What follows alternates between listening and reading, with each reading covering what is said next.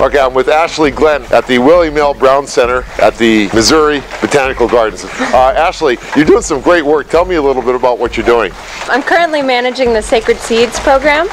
It's a network of botanical gardens focusing on culturally important and medicinal plants and the traditional knowledge about those plants. So that's like plants you take for medicine that local people would take, or Medicine, ritual plants, yeah, uh, food crops, anything that culture finds important. right. And so th- this is a program designed to preserve all that. So you're you're taking them and you're regrowing them in the local areas. Is that right? The idea is preserving by using. So Okay. each sacred seed garden is a preserve for culturally important plants, but it's also a venue for exercising those traditions and teaching about traditional uses and Wow. conservation. So now we're in Costa Rica right now, of course. Uh, very rainy Costa Rica, I might add. But this happens all over the world, right? Not just here. Yes, um, we're currently in seven countries and growing rapidly.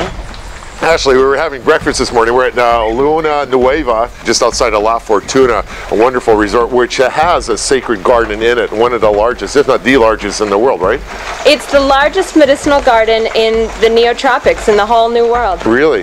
So, what makes this place unique? There's over 300 plants in the Sacred Seeds Garden. Not only local plants, but any tropical plants they've transported here as Yeah. a preserve for all medicinal plants. Right. Now, some of the plants we've got, one of the ones in particular caught my attention is the warrior vine. Yes, we work in uh, remote areas of Peru.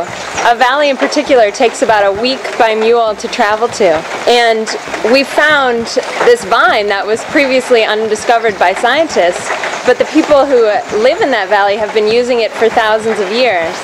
This is really high in omega oils, which are, I guess are really healthy for you, right? Great energy and, source. yeah, and- and a good energy source as well. And uh, the warriors would carry it around uh, to give lots of strength and fight those battles in Peru. Is that right? Yes. All right. Well, Ashley, thank you very much. Thank you. From Luna Nueva, this is Percy Von Lipinski here for CNN.